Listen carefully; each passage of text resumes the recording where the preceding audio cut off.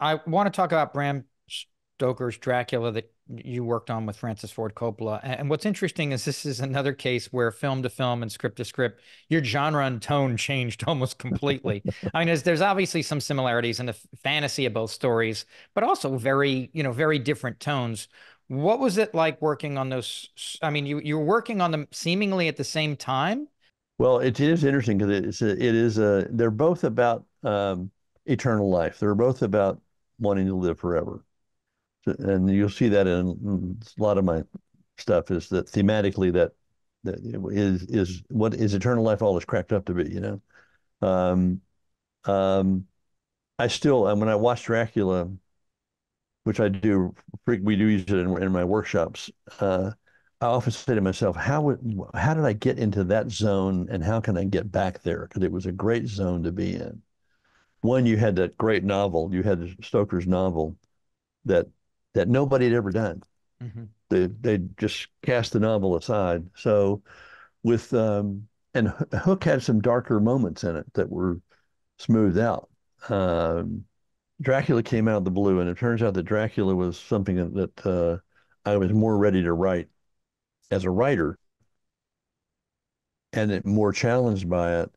And I needed a darker. I needed, as, as Kathy Kennedy said, "Oh, oh, now we know the dark side of you." You know, uh, Dracula was a much darker, but also a great love story. And um, I think not having that hook is about loving your family, you know, and about capturing your, your childhood, recapturing your childhood and being that, finding that kid inside you again, that the child inside you. Dracula is about loss and redemption and um, uh, fall is falling from grace and being uh, resurrected. Um, and it's also about the power of love. Just saying that, the tones are completely different. So you can't inject the kind of humor into Dracula that you would rely on in Hook. So I couldn't write a funny scene between Dracula and, and Harker, between Keanu and and and Gary. I couldn't write a funny scene between Gary and Winona There was no comic relief except for maybe Sir Anthony in that in that film. Uh, and also, uh, Francis said a wonderful because I wrote both those scripts without those directors involved. Francis read Dracula, Steven read Hook. They didn't they didn't exist in their in their playing field or in their radar, and they kind of blindsided both of them. Um, and I think because they were so different worlds, I had to when I was down the rabbit hole on Dracula, I didn't want to be pulled out to go deal with Hook. And fortunately, Hook went forward while I was still working on Dracula, and it was in production, uh, and I didn't have to worry about it. I mean, I, I would see dailies, but it let me compartmentalize and ship put, you know, put that Dracula helmet on. It's up there, that Dracula helmet on, and go down the, and go down into into that world and stay there. And you were nominated for a Hugo Award for the screenplay of that film. Where does that script stack up for you in your CV? I mean, what was your what was your favorite part about writing that story? Well, the favorite part was working with Francis because Francis is a writer first, uh, and he knows how hard it is to get those words on the page, and he, he knew how hard it was to find a way to adapt that book because he that would have been one of his favorite books as a camp counselor. Um, so it was being able to have conversations with Francis, knowing I'm talking to a writer, and a writer is talking back to me. And he would he would say he I think he said, you can you can be a good director without being a writer, but you'll never be a great director unless you're first a good writer. Um, so you understand you understand the the the mechanics of storytelling, and you understand the mechanics of of of um, of character. You understand the importance of character. The character drives the story. Uh, and also getting to see the cast bring that film to life. Getting to watch uh, Gary and, and Francis butt heads and getting to watch Winona and, and, and Sadie Frost, who was incredible, getting to watch Sir Anthony. They all loved the script. They actually defended the script. When Francis would want to make cuts or something or take a scene out, they'd go, no, no, no, no, no. Uh, please don't cut that out. Um, uh, and and I think that to me was the was the joy of it is that they really really appreciated the writing. Whereas on Hook, you're changing and you're changing lines every day, and you're changing your the stuff being changed on the set and what have you, which is fine. I don't mind that. But what I loved about Francis is that he said, "This is the script we're shooting." He storyboarded it, where on the he called it the score. On one side of the page was the actual shot storyboards that Peter Ramsey did. The other side was was my screenplay, my shooting script.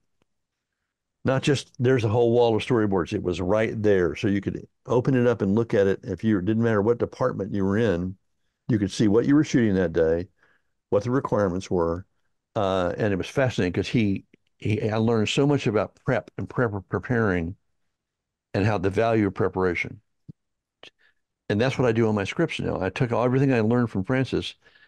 Writing a script has pre-production that goes into writing the script, and that's sort of my method now. It's called a Hart Chart, and uh, it all came from my my work with him. It was a joy to watch this man defy the studio, be fearless in his in his courage about defending the the artistic integrity of the piece, never never wanting to give up or, or toss in the towel even when he didn't like the movie.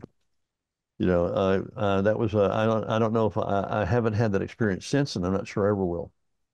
Well, he's but the guy who fought, uh, had to fight his whole way through with the Godfather. So exactly, there he were tons of battles stories. there. Tons he of told battles. me those stories. Yeah. yeah. He would. He said I had to fire somebody at the end of every week so they wouldn't fire me. you know, uh, and that whole thing about the chaos that he creates on set, like in in Apocalypse Now, that's his method. That's how he gets back in control. We had a we had an instance like that on Dracula when we were in three days from shooting. We're in rehearsal at that famous church there on Highland and Franklin. Uh, uh, so it's got a big gymnasium. A lot of people go there to rehearse, and Michael Ballhaus has got a Hi8 camera. He's filming the rehearsals, and we're working, and you are using doll furniture and stuff, you know, and um, and Gary is doing the scene where he brings Winona to his chest, and she drinks the blood, and they all rush in with their stuff, and he stands up and and he's there giving the lines as they come in, and he's standing up in the bed, and, and he finally just stops and says, "Francis, I can't do this scene. I can't do it." And Francis is going, What do you mean you can't do it? This is every line that you asked to be in here, all of you, that you, the scene is exactly what you wanted to do. What do you mean you can't do it? And he said, Well, they're coming in here with all their their potions and their crucifixes and their guns and silver bullets and acid. I'm standing here in my underwear delivering these lines, you know, because they've been in bed. Uh, and you and and he said, I can't do it. Uh, I, I feel stupid. You know, I'm naked. And Francis said, okay, um, here's what we're going to do. Jim, you take everybody around the little petition to lunch. You guys reread this scene and you get the scene right. And then I'll decide whether or not we're going to shoot this movie. And everybody goes, whoa. And, and me, I'm going, uh, uh, they're all looking at me, you know, uh, okay, let's all go do what Francis he just goes, said. He just goes all in. And, and I got everybody around the corner. We sat down to eat, and all of a sudden we hear all this noise, crashes, and chairs and tables being and turning out, getting, you know. And I go running out around the corner, and, and I see Francis disappearing out the back door with his little beret. He's turned over the tables. He's turned over the chairs. He's thrown coffee everywhere. I mean, he's totally trashed the set. And I got Anthony Hopkins, I got Richard Grant, I got uh, Gary Oldman, I got Winona Ryder, I got you all standing there looking at me going, "What the?" Oh no! you know. And Anahit Nazarian is sitting there. His she she's been with Francis for she's now his producer forever. She was had a PhD in library science, so she had typed. I never typed the script after we. She would type everything, and I would look over her shoulder and we'd edit. And she was standing there very demure with a notebook in her hand. And she said, Francis would like all of you to go home or to your, to your hotel or wherever you stay and wait. And he'll let you know if we're going to make this movie starting Monday or Tuesday. Now, this is before cell phones. You know, we're so everybody's got to sit by the phone. And so, but in a matter of minutes, the word was all over town that Francis had lost it and was pulling the plug on the movie. And there people are calling their agents going, what the hell? But you know, and on he says, everybody but you, Jim. You stay. And to make a really interesting story this long, I'll make it shorter.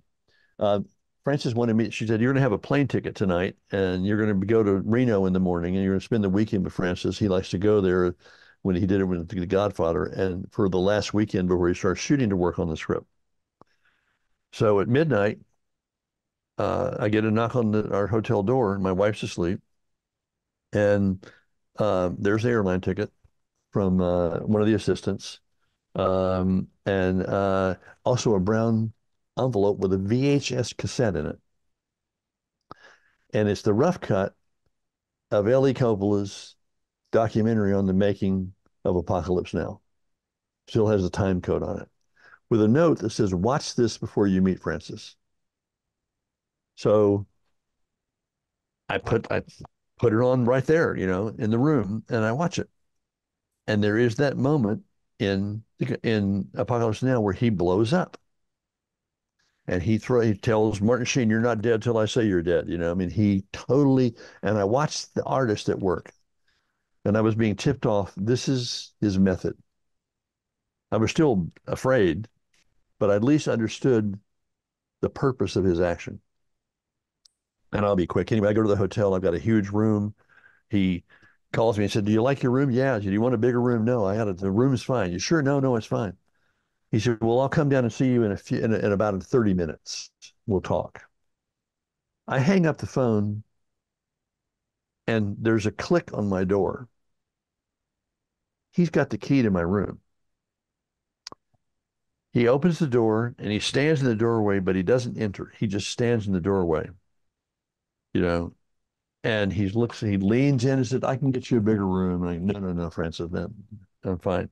He will not enter the room because in order for Dracula to be allowed to come into the room, he has to be invited. And he's playing this game with me. And so I'm we're about 20 feet apart. I'm sitting at the bar with my big giant computer, and he's and we start talking. And he finally says, um, "What if Dracula turns into a big bat?"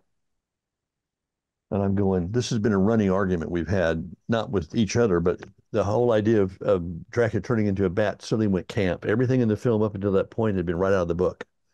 But to see him turn into a bat and fly out the window, we've lost the audience. It's then we're back in Campville. And I said, how big? Like a 747? He said, no, a big bat. You know, and he said, and he, and I said, well, you, what does it look like? And he said, well, what does a vampire see when he looks in a mirror? That was a good question. And I said, we don't see anything, but the vampire sees the tormented soul. That they, that's why they don't like them because they see the thing they've turned into. He said, "That's what we're. That's that's the bat we're going to do." That's a great idea.